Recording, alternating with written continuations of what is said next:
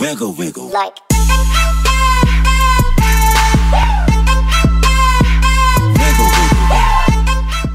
Hey Blitzers, the Muffin here.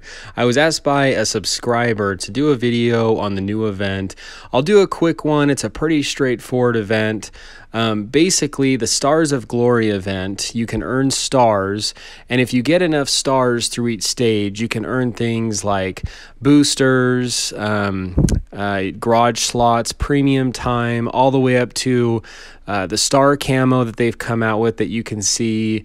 Um, and a, lot, or like 5 XP tags, all these things to really help you grind, get tanks faster.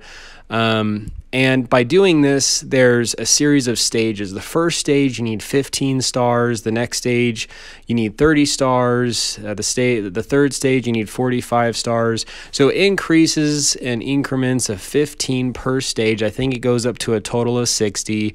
And each one of those, you get different rewards. And for the the event goes until July 9th, and the first five victories you get in a day get you three stars, and then every victory after that, you get one star. So from the event details, as long as you're playing every day until the 9th and getting the first five victories, you'll have enough stars to complete the entire event.